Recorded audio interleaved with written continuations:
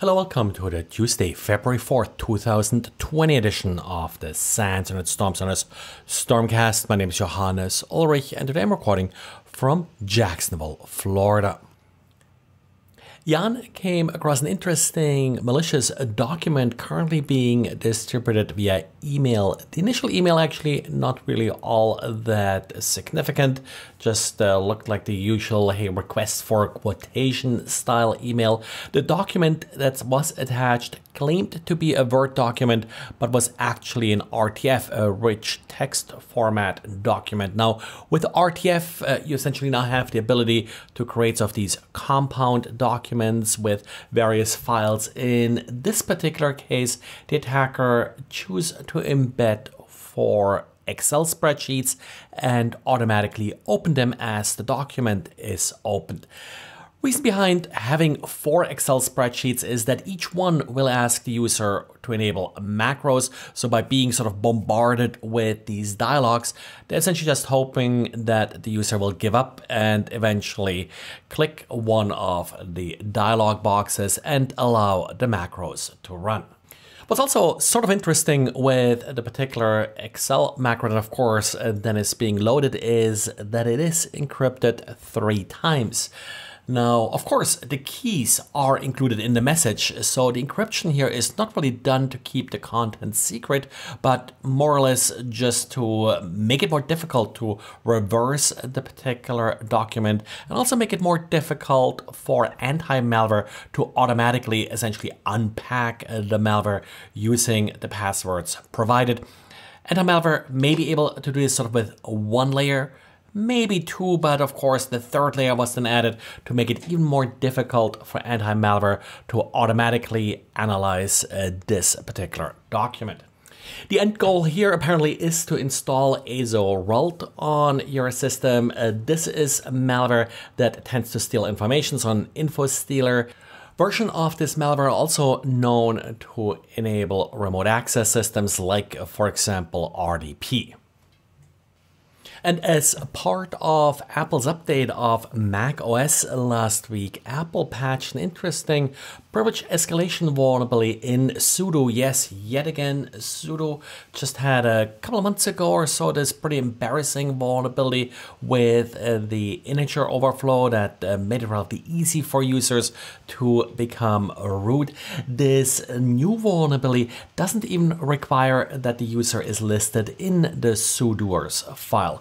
So typically the command sudo on Unix is used uh, to allow specific users to elevate privileges and either become another user or just run specific commands.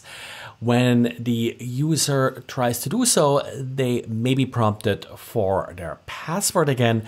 And uh, in most Unix systems that I'm familiar with, there's no real feedback, but sudo has an option where as you type your password, you'll see asterisks show up on the screen. So this way you kind of know if your keystroke was accepted. The problem is that this fairly simple vulnerability is associated with a buffer overflow and the attacker can escalate privileges and run arbitrary commands as root by sending a large number of characters to sudo.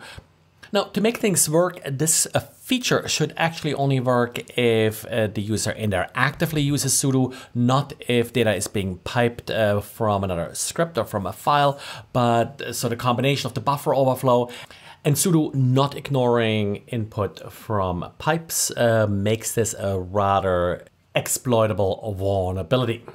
Now, while Apple found and fixed the flaw in macOS, uh, this also has been fixed for other Unix implementations of uh, sudo, so this is not just a Mac OS problem.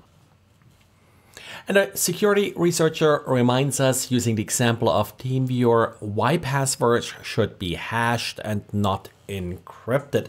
The big advantage of hashing a password is that it can't easily be retrieved even if an attacker has some control over the system. By just stealing the hash from a database, if it's done properly, at the very least, uh, you are delaying the attacker from brute forcing the password. TeamViewer took the approach of encrypting the password. Now, while they didn't really do the encryption wrong, they used AES, a reasonable good encryption standard. The core problem with encryption of a system like this is that the software verifying the password has then also be able to decrypt the password. And that key has to be stored somewhere within the software.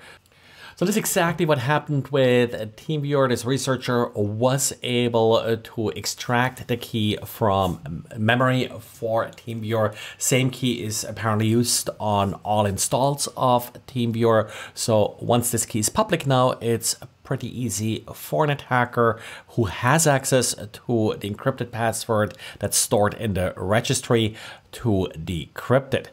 They actually didn't end up using the actual AES algorithm, but Rijndael, which is sort of the algorithm, the precursor of AES, but uh, pretty close.